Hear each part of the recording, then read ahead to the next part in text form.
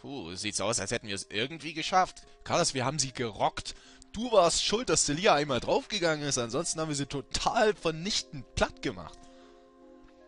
Dieses Monster war wirklich nicht zu unterschätzen. Ich hatte wirklich Bedenken, ob wir diesen Kampf gewinnen können. Ich habe was komplett anderes gelesen. Da steckt ein Schwert drin. Wow, wie praktisch. Sieht so aus. Los, Carla, schnapp es dir. Äh, was? Warum ich? Ich hol es doch selber. Äh, das wird sicher nicht funktionieren. Wieso nicht? Hast du nie von der Legende von Soul Calibur gehört? Jetzt sei ein Held, trag ein wenig zur Dramatik bei und hol dir das verdammte Ding. Was ist das Soul Calibur? Ach, die, die, ich, kenne mich mit der Geschichte irgendwie überhaupt nicht aus. Wenn es da überhaupt eine Story gibt zu. Schon gut. Luna für erhalten. Badam. Also gut, Luna, das geklärt ist, können wir ja weitergehen. Moment, da wäre noch eine Sache. Äh, was jetzt noch, Nami? Woher kannte sie die große Welle Envy? Sie ist keine Angehörige des Göttervolkes und auch keines der Kinder, das würde ich spüren. Darauf willst du doch hinaus, oder? Na, sag ich doch, es ist die Tochter von Levinin. Dann ist sie nicht wirklich ein Angehöriger des Göttervolkes, wenn man es so nimmt. Allerdings, aber wenn sie weder Angehörige noch Kind ist, woher kennt sie dann die große Welle? Das ergibt keinen Sinn. Diese Frau habe ich zum ersten Mal gesehen. Ich kannte sie nicht. Ja, ja, ja, ja, ja. Na klar doch. Aber sicher, lüg uns hier noch ein bisschen die Hucke voll. Tatsächlich nicht. Sie kannte aber offensichtlich dich. Erklär mir das. Ich kannte sie wirklich nicht. Bitte, Karina. Also ehrlich gesagt finde ich das auch mehr als merkwürdig, aber die ganze Unterhaltung führt doch zu nichts. Also anstatt hier unsere Zeit zu verschwenden, sollten wir lieber endlich aufbrechen. Danke. Ich sagte nicht, dass ich dir glaube. Und überhaupt, wieso musst du die ganze Zeit an meinem Robzipfel hängen?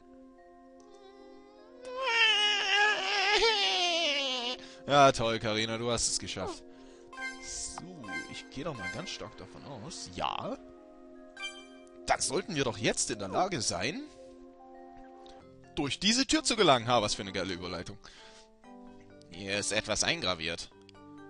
Nur die Macht des Schwertes, strahlender als Gold, des Stabes, gleichnamig seiner Besitzerin, des Bogens, dessen Pfeile tödlicher sind als die Kugeln der Jägerin und des Stockes, mächtiger als die Magie der Energie, vereint, können diese Tore öffnen. Und wie ich immer so gern sage, Knäckebrot öffne dich. Na dann. ähm, äh, Moment, wir hatten das ja schon ein paar Mal, ne?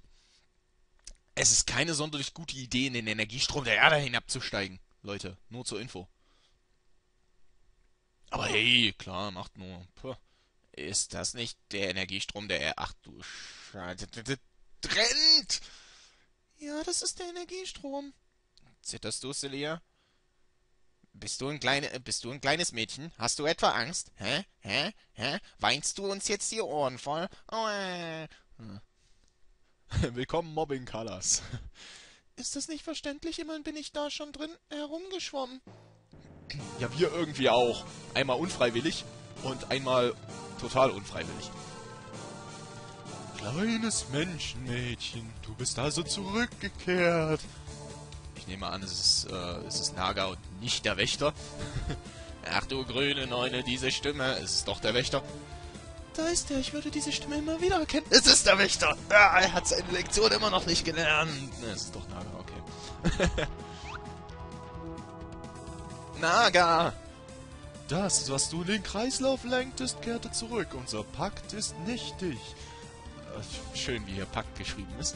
Also, was willst du hier? Das ist hier, unser Paket ist nichtig. nichtig. Kannst du wieder mitnehmen. Also selbst das wird nur mit einem K geschrieben. Naja, eigentlich sind wir ja zufällig hier gelandet, weißt du? ja, wir äh, die Tür gefunden, haben wir gedacht, muss ich aufmachen und dann... Verstehe, dann werde ich diesen Ort wieder verlassen und tschüss. Warte, warte, warte, warte. Wenn wir schon mal die Möglichkeit haben, direkt mit dir zu sprechen, möchte ich dich gerne etwas fragen. Kleiner Fleischklumpen, es ist nicht meine Aufgabe, deine Neugierde zu befriedigen.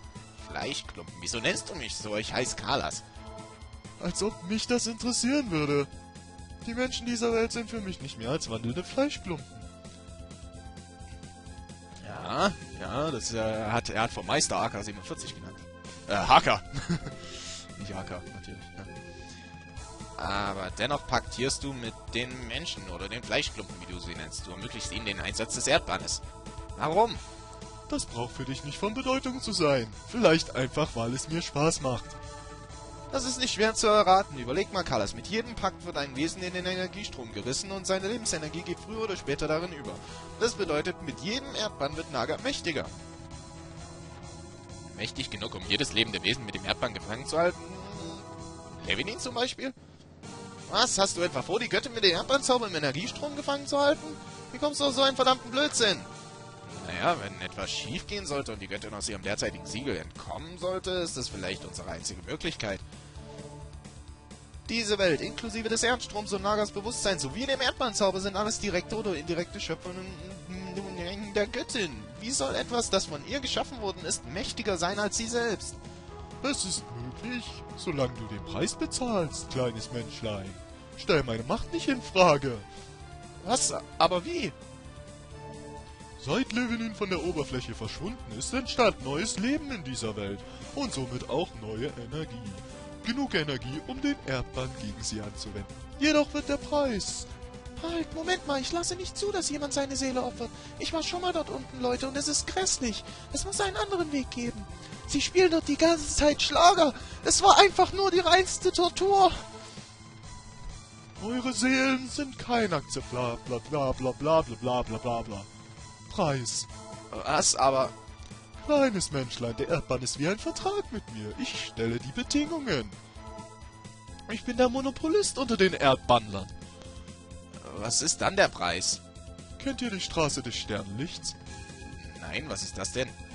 Die Straße des Sternlichts verbindet verschiedene Realitäten und Zeiten miteinander. Was? Weitere Erklärungen würden, über euren Verstand, äh, würden euren Verstand übersteigen und euer Kopf würde explodieren. Über diese Straße sind drei Wesen in diese Welt gelangt, die hier nicht hingehören. Ihre Macht ist ungleich größer allen lebenden Wesen dieser Welt. Sie sind der Preis. Vernichtet sie und eure Schuld wird beglichen werden. Äh, äh, ihre Macht ist ungleich größer als allen lebenden Wesen dieser Welt. Okay, ja klar, Mann. Ja, vernichten wir sie. Sicher. oh, Und diese drei Wesen, wo befinden sie sich jetzt? Dort unten. Ihr müsst einfach nur hineinspringen. Die haben es tatsächlich getan, was für Idioten. Was, im Energiestrom? Warum? Ihre bloße Anwesenheit hat die Balance dieser Welt gestört. Deshalb habe ich sie in eine Art Käfig innerhalb des Energiestroms gesperrt. Jedoch, solange sie dort unten gefangen gehalten werden, wird so viel Energie des Stroms in Anspruch genommen, als dass noch ein Wesen wie die Göttin gebannt werden könnte. Du verlangst also von uns in den Energiestrom zu steigen und drei überaus mächtige Kreaturen zu erledigen, die uns haushoch überlegen sind? Das wäre reiner Selbstmord. Natürlich wäre es das, Celia. Äh, Karina. Hast du nicht noch behauptet, kein Monster dieser Welt kann es mit dir aufnehmen? Sie kommen, sie kommen von einer anderen Welt. Also, hm. Das ist mein Angebot. Überlegt es euch gut. Tretet nicht erneut vor mich, wenn ihr nicht eure Entscheidung getroffen habt. Das ist doch Wahnsinn! Wahnsinn? Nein, Karina. Das ist Naga! Schlechter Witz. In den Energiestrom zu steigen, drei Wesen, die selbst von Naga als mächtig bezeichnet werden, besiegen, lebend wieder hochkommen und das alles nur damit ein Zauber theoretisch funktioniert, den wir nicht mal sicher brauchen werden? Celia, du kannst den Erdbann anwenden, nicht wahr? Der Spruch ist immer gleich und passt sich nur an den Preis an, deshalb, ja, ich könnte ihn theoretisch auch auf eine Göttin anwenden. das das, das wäre schon witzig. Allerdings gefällt mir der Gedanke nicht, sie ist immerhin eine Göttin. Wenn sie auferstehen sollte, glaube ich nicht, dass sie sich eben einfach so still hinstellen würde, bis ich den Band fertig aufgesagt habe. Das dauert immer seine Zeit, weißt du? Trotzdem, wir wissen nicht, was uns in Ciel alles erwarten wird. Wir sollten so viele Esse... Esse, Esse? Ist das wirklich... Ist wirklich die Mehrzahl davon? Ich glaube, es sind Asse. Wie möglich im Ärmel packen. Äh, sollte es hart auf hart kommen, wird dies vielleicht unsere einzige Möglichkeit sein, eine Katastrophe abzuwenden. Hey, bei dir sind doch sämtliche Sicherungen durchgebrannt. Dir ist schon klar, dass es sich hierbei nicht um einen Spaziergang durch eine Wüste oder ein Gebirge handelt, sondern um eine Reise in den Energiestrom. Ein Tropfen davon kann uns alle auflösen und mit sich reißen. Reisen. Mit sich reisen. Das ist nämlich eine große Reise. Ja. Außerdem sollen wir da gegen drei Kreaturen aus einer anderen Dimension kämpfen? Wir haben absolut keine Ahnung, was uns genau erwarten wird. Ja, ist doch super, so wie immer. Dann sollten wir besser gut vorbereitet sein, wenn wir das durchziehen. Und ich glaube, besser vorbereitet als derzeit kann ich jetzt auch nicht mehr sein. Äh, das heißt, ich werde wohl jetzt gleich demnächst in den Energiesprung springen. Hui!